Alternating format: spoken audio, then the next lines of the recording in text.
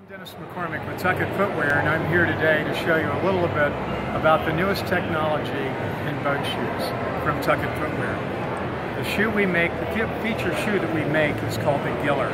We call it the Giller because it has gills down the side of the shoe to release water. The Giller also has 12 drain holes on bottom and 6 on each side. Giving an example to show you, you can completely submerge the Tucket Giller in water.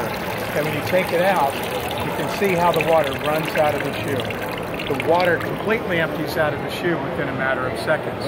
To show you a few features about the shoe, the Tucket Giller has an outsole that is a really super grippy outsole. This is called microplast. It's a material that we use that grips like some of the best boat shoes out there. In fact, better than most boat shoes. This outsole has been tested and it is OSHA, it meets OSHA standards for slip resistance. It's also a non-marking outsole, so it won't leave marks on your boats or any surfaces that you walk on. The side of the shoe, this is EVA. EVA is the same material that's used in like Nike running shoes for soles, or most running shoes for that matter. On the inside of the shoe, you'll see that we have EVA in here as well.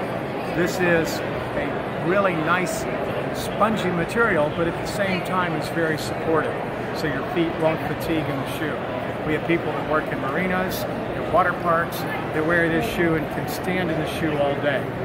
So take a look at Tucket Footwear for the newest in drainable boat shoes and visit us at tucketfootwear.com for a retailer near you to try on and pick up a pair.